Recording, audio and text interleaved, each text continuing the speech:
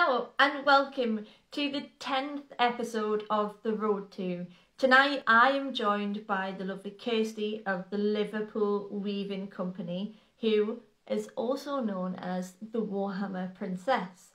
She took part in hosting her very own series, Lady Hammer, last year, and tonight I get the pleasure of speaking to Kirsty right now, and I'm just about to send that request off and she's going to join us for a lovely chat.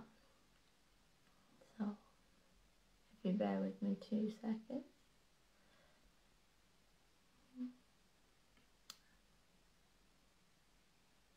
Hello, everybody joining. Thank you so much for tuning in. That will us in a couple of seconds. I hope you're all having a good night. Hello. Hi. How are you? Hi, I'm here. Everybody, this is Kirsty.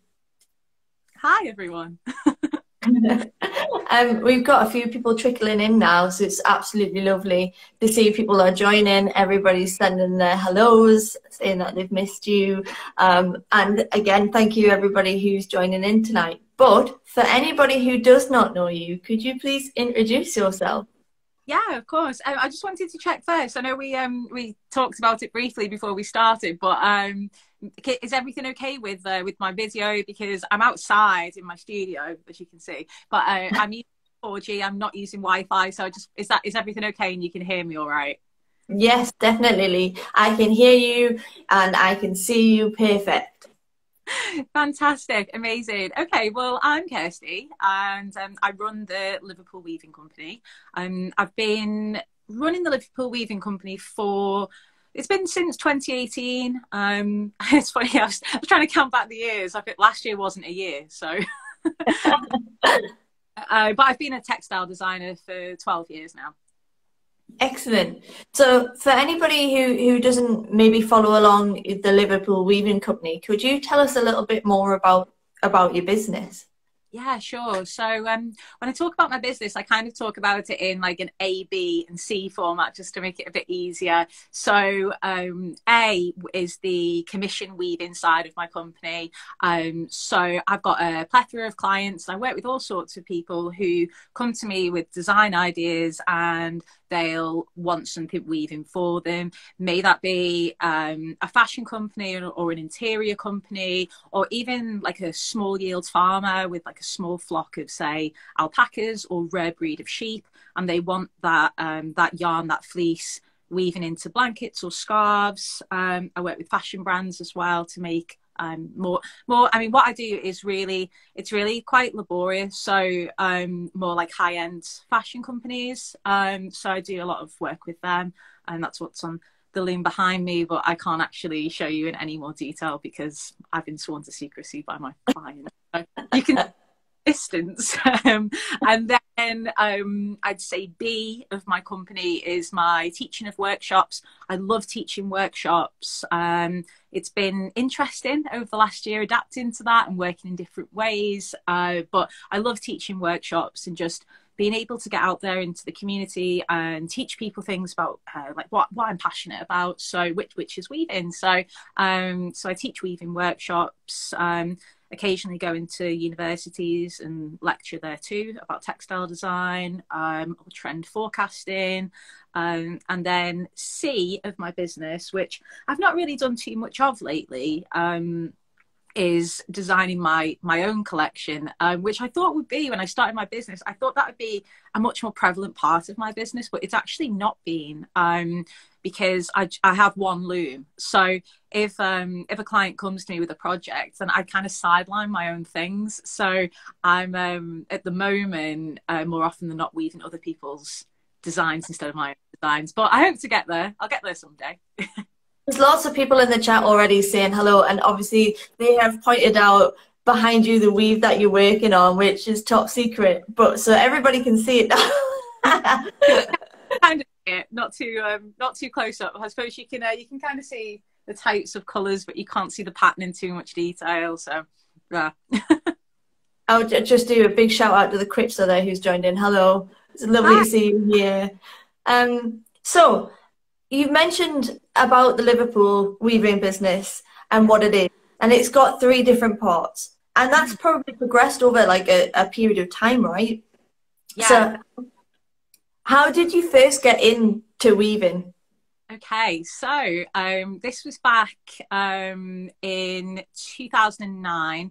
That was when I started my textile design degree at Chelsea College of Art. So um, going back to there. I always knew I wanted to do something creative, but I wasn't quite sure at that point what. So in my first year at Chelsea, we did all of these different blocks where we tried different creative skills. So um, knitwear, um, CAD, which was like more more print orientated design, um, embroidery, which I was terrible at. Um, and weaving. And I just, the thing that I really liked about weaving is that I'm a bit of a geek. We already know this because of how we met. I'm a bit of a nerd, and I just I, yeah. Well, I've always weaving is um, there's much more of a there's quite a mathematical structure to weaving. Um, there's lots of formula to work out the density of the cloth, for instance, um, and there's quite a lot of maths that goes into weaving. So uh, I guess the technical side drew me in. So I, I just I've always really liked the structure of of weaving. So um,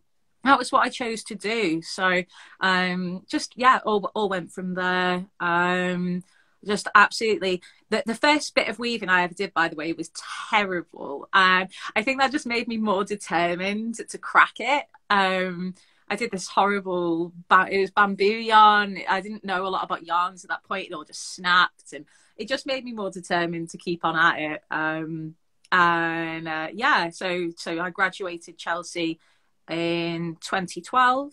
Um, and then after that, I worked for a few design studios in London. Um, I worked for Designers Guild, which I really enjoyed, um, and did a lot of work with uh, with tartans and tweeds. So that led me to look for design opportunities further afield, and that was how I kind of graduated my journey up north and then back down south, and now I'm here. so we we have um, hearing that we've got a very similar background. So I did um, fashion marketing at university um, and specialised in textiles too. So when I saw that you were in textiles, I was like, oh, not only are you into Warhammer, you you've got a textiles background too. I was like, oh my god, I've got to nail Kirsty down for a conversation. um, and so one of the things that I wanted to ask is you've got your own business and you're obviously really passionate about textiles. What was the moment that you thought, you know what, I want to do this as a business? I want my own business, and this is literally the path I want to get on. I think uh, I think it was kind of an organic progression um, because after I'd uh, after I'd worked in London, um, I really wanted to learn more about tweeds and tartans. And I was working with um, with woolens and tweeds and tartans in design studios in London. I was just like, I just want to learn more from the source. So I got myself a job at a mill in Aberdeenshire, and I moved to Aberdeen. Um, the mill was halfway between Aberdeen and Peterhead, and I moved there. And I was a tweed and tartan designer at that mill for a couple of years, and um, I, I, became involved in uh, in in a charity that was based in Shetland. So, and it was a textile charity. So I started doing bits of work with with people in Shetland, uh, locals in Shetland, and I thought, why not just move a little bit further north? So, for those of you who um, who don't know where the Shetland Islands are, they're uh, a small group of islands. It's still it's still the UK. It's still in Britain, um, but they're right up there, practically by Norway. Um, I moved myself to a tiny island with only 900 people on it, and that was where I co-ran a tweed company. So um, I worked in Shetland for quite a few years. I've been a design manager at Bristol Weaving Mill. Obviously, I moved back down for that. it wasn't remote working. Uh, and then while I was, I loved Bristol Weaving Mill and I love being design manager there. But sometimes I feel like you move somewhere and it just doesn't quite click. And Bristol's a great city. And I had a fantastic time working at the mill, met loads of great people, loads of like my, my two ex bosses were fantastic. But after working for other people for 10 years, I, I just kept thinking, I, I want to do this for myself. You know, I want to set this up for myself. And it was getting to the point where I'd lived away from Liverpool for, yeah, like pr- practically coming on for 10 years. Um, and I had, I had a bit of a I had a bit of a call into home. So I was thinking, I, I really want to do what I love, but where I'm from, and being able to facilitate doing that was kind of impossible because there used to be a lot of mills around Lancashire and Merseyside. Um, you know, we're talking, you know, like 50, 60 years ago. The nearest mills really to me here now are Lancashire, uh, West Yorkshire. There's really not a lot around in Merseyside in terms of weaving. So I thought, why not it be me? So here I am. Excellent. You know what? That's a fantastic journey that you've been on. I'd had I had inclinations that you'd worked for other people before, um, and I follow your Instagram account, and I see that you do do work with designers and stuff. But it's really excellent to hear that you set up your own business and you're representing Liverpool, and you're really making a movement down there in the weaving and textiles industry. That's amazing. Thank you. Um, the well, the design studio that I've got here, um, I'm Liverpool's only micro mill. So those are the people weaving in Liverpool. Um, there's definitely people weaving. Um, I know a couple of fantastic women who weave in Liverpool, um, but just not on a more um, not on like quite quite the same type of industrial scale like this type of loom um it, you wouldn't you wouldn't find in liverpool or, or the merseyside area um I, I, do know loads of talented weavers but the the weaving on much more of a small scale um kathy wright as well who's a fantastic liverpool weaver um she runs workshops so she's more of a teacher and she um she does lovely weaver scarf workshops and um, dyeing workshops. She does yarn stuff like that. So there are other people around. It's just a bit more niche. Yeah. So I had a question come in off Joey from Instagram, and he said, apart from the Shetland Islands, is there anywhere else around the world that you get your inspiration from? Oh, that's quite a hard one, actually. Um, yeah, I mean, I take inspiration from all sorts of places. Like when I was based in Shetland, uh, I used to I used to weave a lot of fabrics around an idea that I called the hidden coast. So looking at landscape, you know, you can look at a landscape really quickly and you can say, you know, the grass is green, the sand's yellow, the sea's blue, whatever. Um, but I like to do this thing called the hidden coast where I'd really look into the depths of nature. Um, I, I used to be fascinated by seaweed um, anything growing on rocks, barnacles. Um, and I just love the idea of looking closer to things. And you can do that practically anywhere. Um, I've been doing a little bit of research into Liverpool and surrounding areas. Um, it's been a little bit more difficult because of COVID, but I'm getting out there and looking at Liverpool's you know cityscape in a little bit more depth. So I think you can draw inspiration from so many places, but I absolutely love going to mills. Um, and I'm a really outdoorsy person. I've got two dogs and a little one, so uh, always going for walks, which is something I love. So I've always got my phone out. I'm always snapping photos. Um, I've got this massive archive on my phone of like weave inspiration. So um, one of the main places I've never been to, um, it's not so much to draw inspiration from there, but I'd absolutely love to go to Peru. Um, the women who weave there are just insanely skilled and I love scrolling through all the weave pages on Instagram and looking at that. Um, my brother's been to Peru and he he sent he sent me so many amazing photos while he was there. So yeah, I, would love to go to Peru. Um, that sounds amazing. Yeah, yeah, yeah. Oh, also actually, my um, think just thinking actually of places that I find quite inspiring. And um, my brother went to um went to Myanmar um about a year before COVID happened, and he got me these amazing textile pieces. Um, I'll hold them up actually. The colours are beautiful. They're just completely exquisite, and they're, they're so fine as well. Like I don't know if you can see how fine those threads are. Um, yeah, I'm just I'm just inspired really by by anyone who is working in this type of way. Um, just really hands on without without any type of computer aided assistance um, just just fantastic people who've had skills passed down through generations i just find that completely breathtaking and a massive source of inspiration was there a point when you started um, your process in the textiles that you were like um,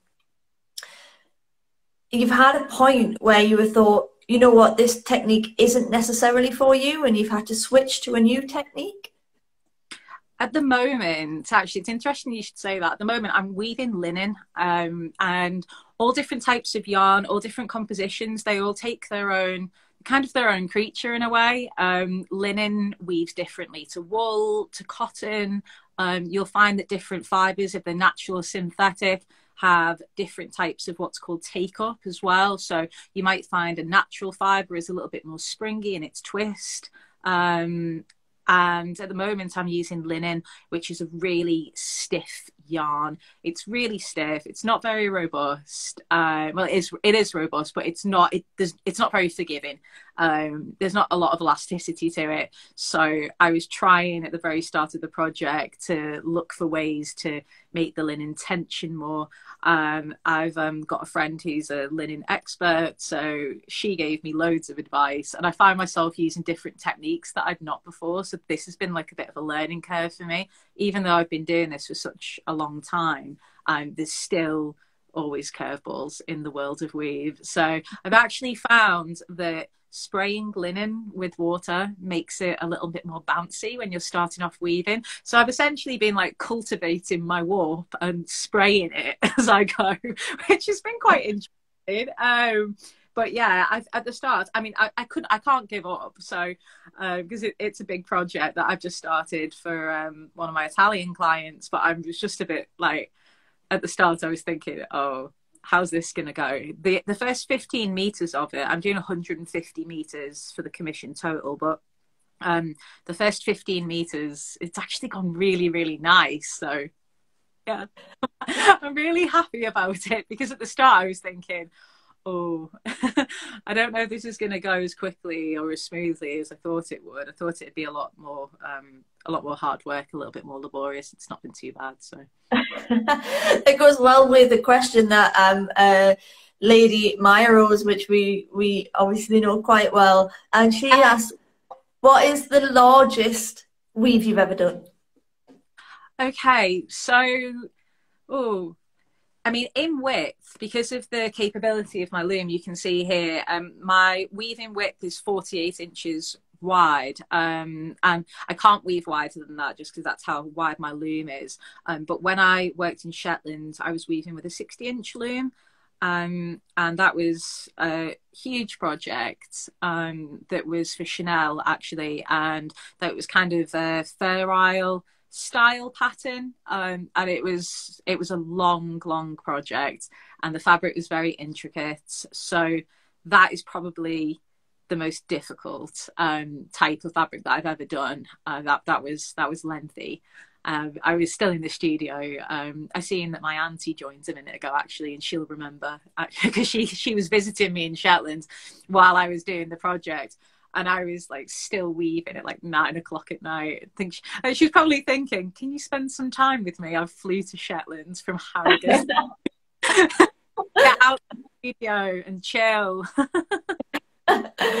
so, um, you've mentioned another part of of the business where you do a lot of workshops. One of the questions that I wanted to ask you is for anybody who's interested in getting into weaving, have you got any advice for people how to do that? Yeah, I mean, there's loads of. If you're not in the northwest area um, where I teach, I have to plug myself a little bit. Um, if you're not in the northwest area, um, there's amazing. There's loads of fantastic weavers throughout the country that do weaving workshops. Um, I do weaving workshops around the northwest and i go to north wales as well. I go like as far over as carnarvon and as north as like harrogate ways. So um I, I, cover quite a large region with with the with the weaving workshops. I do online workshops too.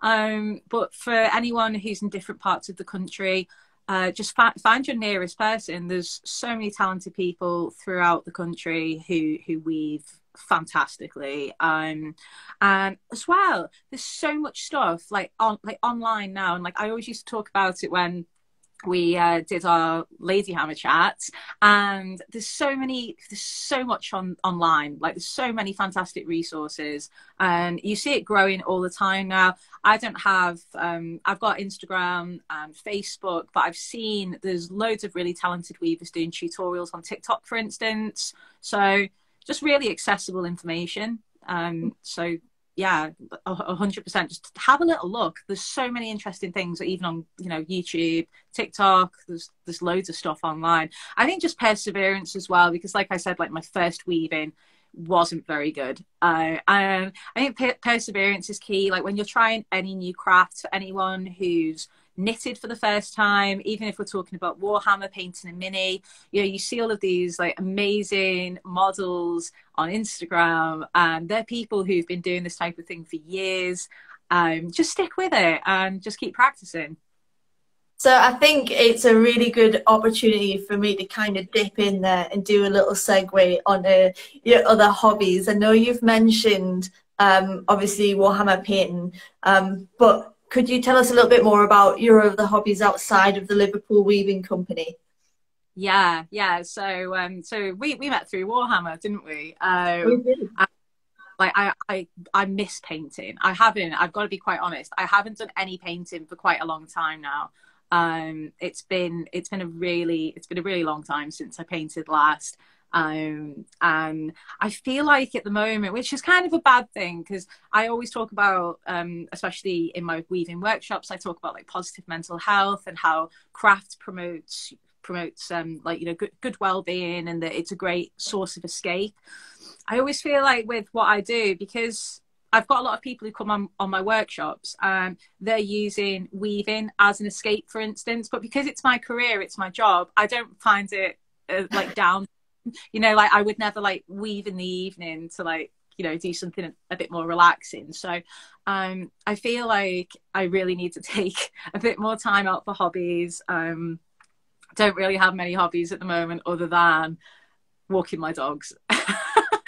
Uh, but I kind of feel like at least like I'm still, you know, getting out and going for a walk. Um, but because of the nature of what's been go- going on over the last year, um, I've got a little one; she's 19 months old. Childcare has been become increasingly difficult because of COVID. Um, you know, we're coming out of that now, which is great. She does go to nursery, um, but I just find when I'm not working, I just want to spend as much time with her as possible, and it just doesn't really leave me much time to to paint unfortunately and i keep looking at models that i really like and i'm like oh i'm thinking no paint what you've got and you've not painted for so long so don't buy anything new because that's that's always a, a Warhammer crime, isn't it? Just to keep buying new things that we we don't need. Um, and i also think as well like i'm i'm long sighted um when i focus my eyes on things for quite a long time like weaving for instance you know at the end of the day eight nine hours i sometimes work 10 hour days if i've got a big project on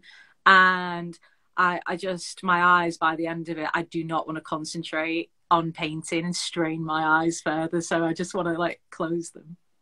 We've all got that um, that big pile of shame, which which fluctuates, doesn't it?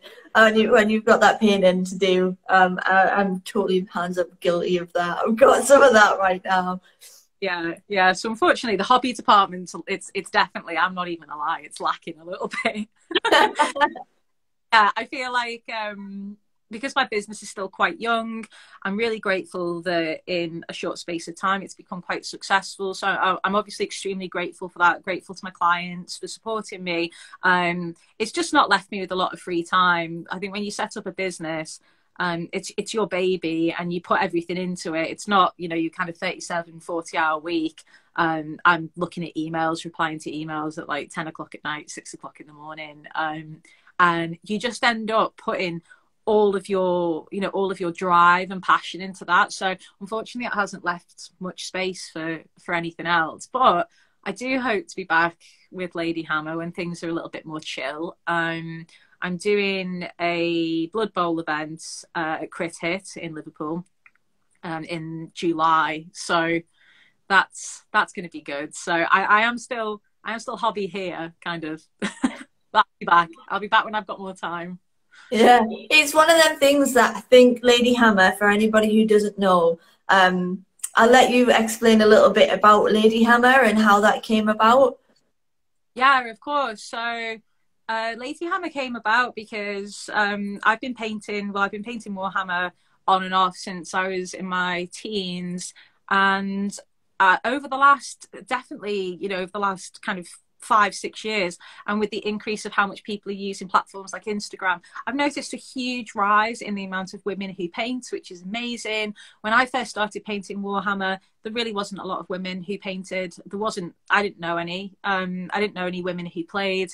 And i'm generally i've generally always been a kind of more male friend group orientated person anyway. So it didn't really bother me that not a lot of women painted or played Warhammer, but it was certainly something that I noticed. Um, so I kind of like dipped in and out of, of the painting, but um, yeah, like I, I did, I didn't do any for, for a really long time, and then you know got back into it, and it's just been something that kind of just come come in and out of my life um, when I've had time and chance. But I, I think the idea of Ladyhammer was to create a platform for women to talk about their painting because although there are loads more women painting and playing Warhammer now, there's still there still isn't loads. You know, let's face it, women are still you know a, a minority in the hobby. So I thought it'd be great just to create a platform in which women could chat about their painting um, and create a space where they could have you know a little bit of time if they wish to to chat to me about their projects what they're passionate about um, you know what what models they prefer whether they're more into gaming um more into painting playing you know floor floor whatever. So that was the idea of it really. And i was i was just so happy that people were interested in lady hammer as well. And it, obviously, it wasn't just women either. You know i was wondering what type of what type of interest will i get in this from this? Will it just be other women watching? How will this kind of you know how will this pan out? How will this um how will this roll out? And it was great because I got, I mean, you know, you always get your odd person who's, you know, a bit of a arsehole, let's face it. but primarily, the reaction and the response that I got from Ladyhammer was amazing, and loads of great messages from women, men, um, you know, show, showing support for that. So uh, I think overall it was a really positive experience for me, and it also gave me a bit more confidence in public speaking as well because I hadn't really done when I was in Shetland.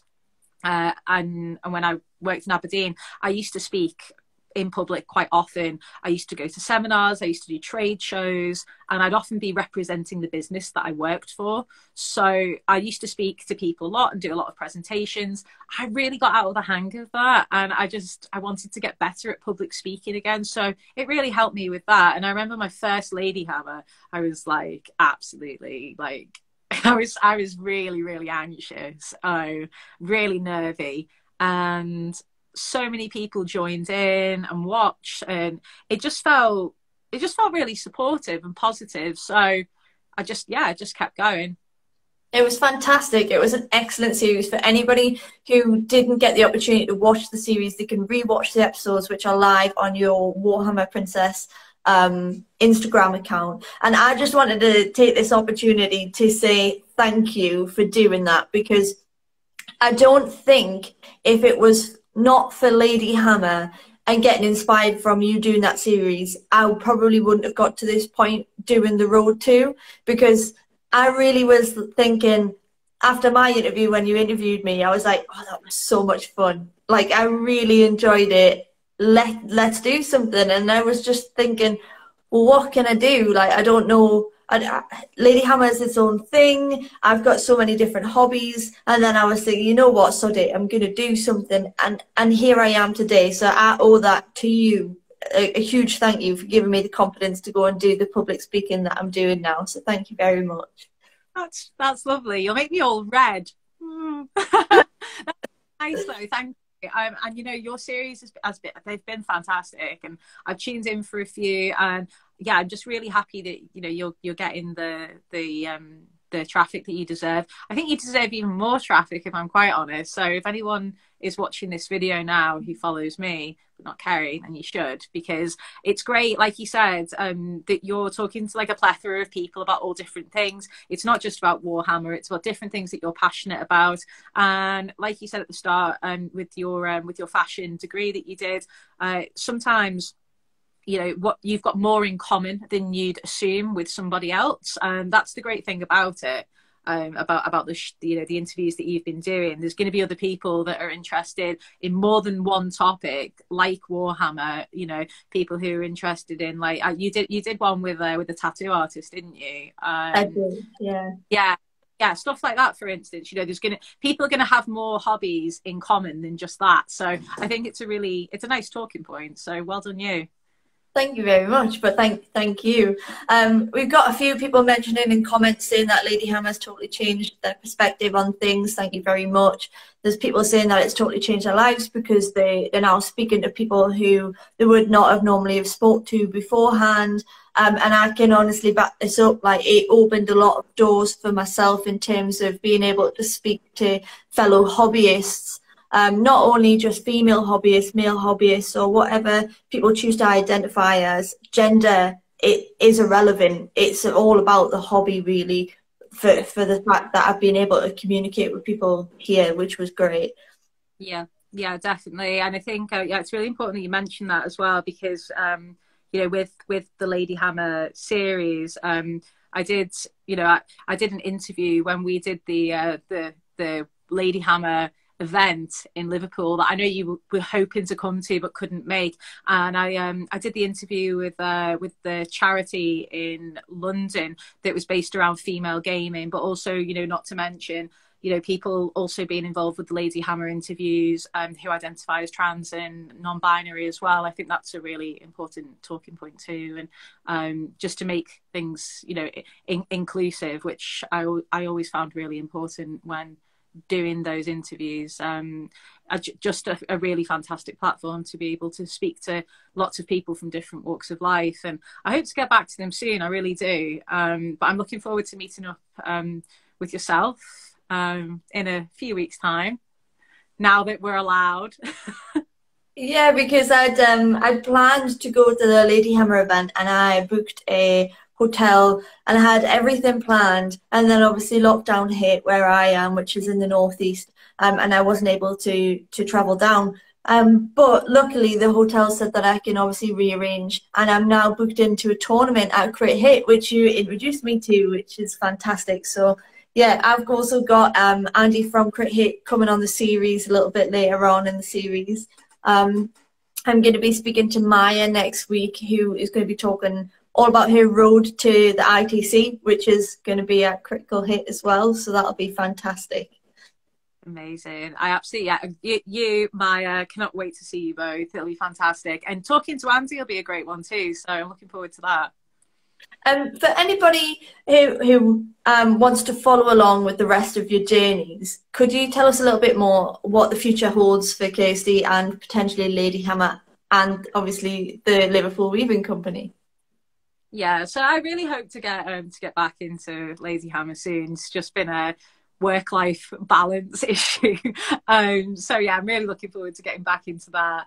Um hoping that once everything's kind of calmed down a little bit with work probably after the summer um, I'll be getting back to interviewing some really interesting people again.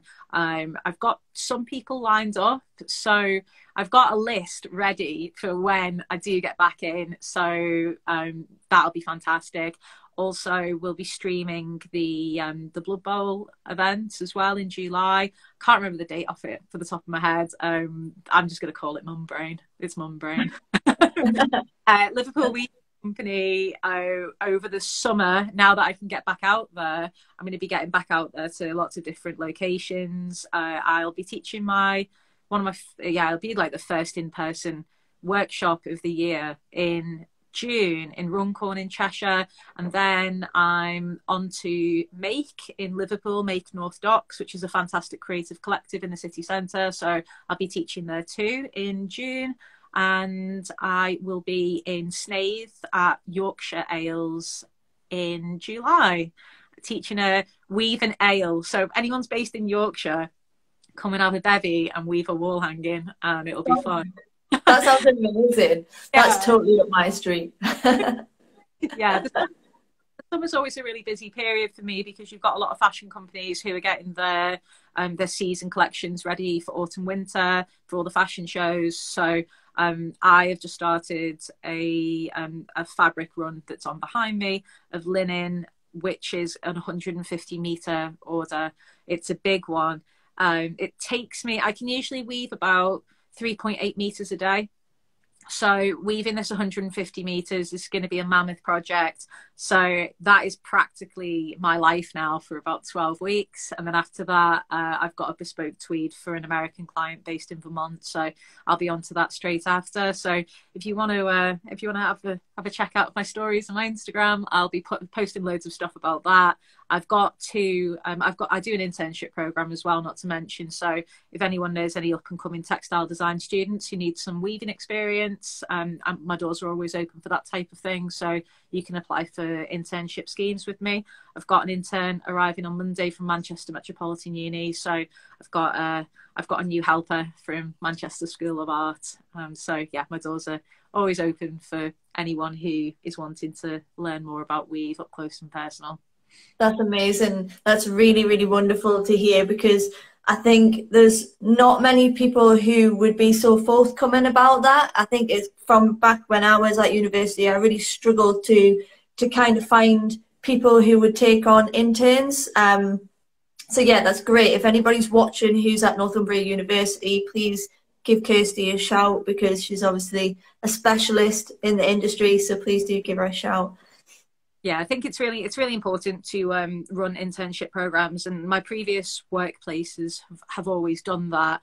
Um, i did inter- internship programs 10 years ago when i was starting out and um, with ne- with weaving as well being the the niche craft that it is i think if you can open your doors and you know take a couple of people on over the summer so they can learn more and they get that proper hands-on experience you know obviously universities are fantastic and there's lots of um, there's lots of practical elements in there but physically learning skills of how a business works I, I, I think you know hands-on experience is is always extremely useful. So I, I think internship programs are really important to teach. I mean it's, it's, essentially the future you know that's what that's what that's what our students are. And if i can take a couple of people on over the summer then i always will. Um unfortunately last year was cut short and my uh, my intern had to leave so uh, make, making up for it this year i've got three students over the course of the summer from varied universities and two are from manchester and one of them is from nottingham trent and she's coming at the end of the summer so Excellent. It sounds like you've got lots to keep you busy. Yeah. so I, I, kind of want to ask you one one final thing before we, we wrap up because time's going really fast. But I wanted to ask you, um, what positives have you gotten or taken from starting your own business or um, taking part in your own series? I think positives I've took from from this experience is you know it, it's it's hard work setting something up for yourself, but there's a lot of positives to it. You know, I'm able to this my studio here. Um, this is I've got at the back of my house like a, like a big it's like a like a double if not maybe triple sized garage. And I've converted this to be my studio. So I can work you know I can work right practically like my front door is like there. So i can pop in i can see i can see my little one i can see delilah when i have breaks. Um there's been so many positives to you know going at it myself. A little bit difficult at times definitely not without its challenges. Um if you're not feeling too well or you're you know you're feeling ill or you want a holiday a little break and you've got a big project on no one's going to do the work for you and you have to just keep on going. And it can be a little exhausting at times. Um but yeah, like the, some of the positives that that I've taken from this is just it, it, it's shown me that I am capable of of of you know of of giving myself that that type of that type of life where I can you know control my own hours um and and pick the clients that I want. I instead of you know uh, i feel at some of my jobs in the past like i often found myself designing things because i had to and it maybe wasn't something and i, I suppose you sometimes get that for instance with with warhammer and commission painting that maybe someone's painted a commission that they don't actually really enjoy and they're doing it because you know it's bread and butter at the end of the day. So um, there's a lot of positives that have that have come from it. And then as well like definitely with with the lady hammer series so many positives came from that. Like i was saying about um my public speaking and being able to practice that and also just meeting so many fantastic new people speaking to people from you know not just different parts of the uk but different parts of the world um, that is that was definitely a, a huge positive for me and, and something I found thoroughly enjoyable. Excellent. I, it's so great to hear that as well. And um, you are a big, I'd say, an advocate for mental health, and it's been uh, Mental Health Awareness Week. So you mentioned there's a lot of women doing a lot of your um, workshops as a positive experience there as well. So big kudos for you to t- for running those workshops on top of the fact that it's been COVID and you've got a full time um, business to run on your own. Um, so yeah, big kudos to you for that. Thank you so much, Kerry. I really appreciate that. Yeah, it is mental health aware. Well, it's mental health awareness well, it was Mental Health Awareness Week, wasn't it? I think it's Mental Health Awareness Month in the States. I've still been hashtagging Mental Health Awareness Month on my posts. Um, so I don't really think it really matters where in the world we live, you know. Uh, so I've still been posting a lot of stuff about Mental Health Awareness um, Month. Uh, my um, I sell weaving kits where you can buy a start your own weaving kit, um, and at the moment I, I choose a charity, a different charity every now and then. So at the moment, five percent from my start weaving kit sales go to PTSD UK, which I think is a really important charity, and they do amazing work with people. So um, I'm trying to give a little give a little back as well. Thank you so much for coming on the show tonight. It's been absolutely incredible to speak to you. Thank you so much to everybody who's tuned in tonight. Please do follow along the Liverpool Weaving Company and Warhammer Princess because it's an exclusive. There's going to be a return at some point.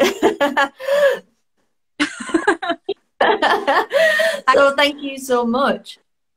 I've had, I've had to chatting to you. Been great. So thank you for uh, thank you for inviting me on as a guest. It's been lovely. And this is um, this is the first uh, interview I've done. I've done one. Um, I did one IGTV when I um, did a prod like a prod like a new colorway, a new product release um, a little while ago. But this is the first time I've actually chatted with someone since I did Lady Hammer. So it's been great and really refreshing. So thank you. No problem at all. Thank you for joining, and I feel privileged to have you on. Um, next week, I'm going to be back at seven o'clock on Thursday, and I'm going to be speaking to Maya Rose all about her journey to ITC. Um, and yeah, we're going to chew the fat, have a chin wag, and talk tournaments. Um, so thank you. That'll be a great one. Yeah, yeah, I'm really excited for it. So thank you very much for joining, everybody. I will see you next week. Thank you, Kirsty. Thank you. Thank you for having Bye. me. You're welcome. Bye. Bye.